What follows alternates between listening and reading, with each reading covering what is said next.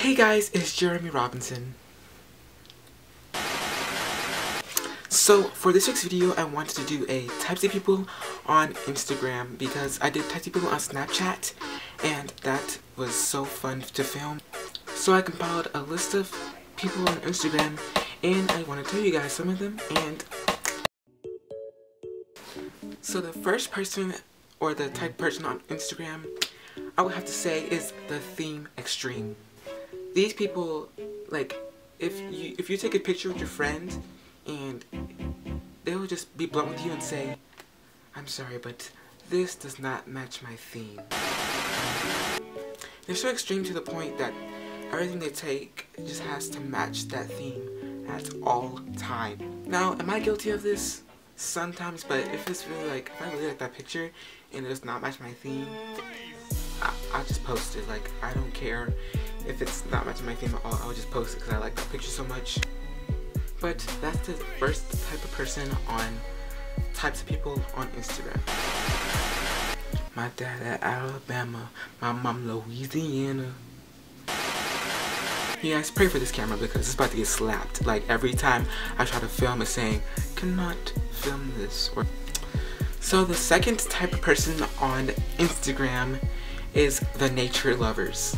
The nature lovers love to take pictures of things outside, things around them, trees, land, butterflies, bees, if they don't get stung.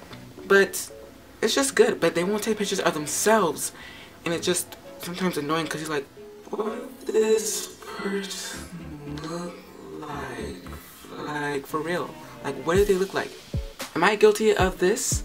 Sometimes, you know, but like I said, I do not care about my feet anymore, so I really post pictures of everything. Like, my feed right now is kind of Mother Nature, the stuff around me, but I don't care. If I look good in a picture, I will post it, you know, on Instagram and I will make it look good.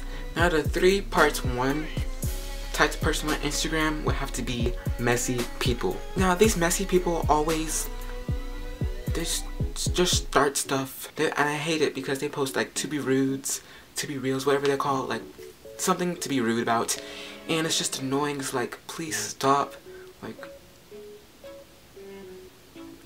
or even they'll post to be honest too, but they'll be brutally honest and really, really just rude honest. Like they'll point out your imperfections, but you know, they never point out theirs. So, and even if they're not posting to be rude, they'll post like a picture, a black picture, or just a picture of themselves and say, just throw shade at other people that didn't even do anything to them. They're just really salty at the moment. Now the three part two person on Instagram is the, like kind of like the other side of the messy people. Like these people like the to be roots on purpose. I mean, why would they like it on accident? But they will like it on purpose just to see what's, just to comment back and say, hey, that's not true. I'll mm mm mm blah blah blah blah blah. But they didn't have to like the picture in the first place. So they kind of start the stuff which is messy. So they're messy people too. The people that like the picture are just messy. Stop. Stop. But that's it for this week's video. I thank you guys for watching this. And just thank you guys for continually watching my videos. I'm trying to get better. I don't know if I am or not.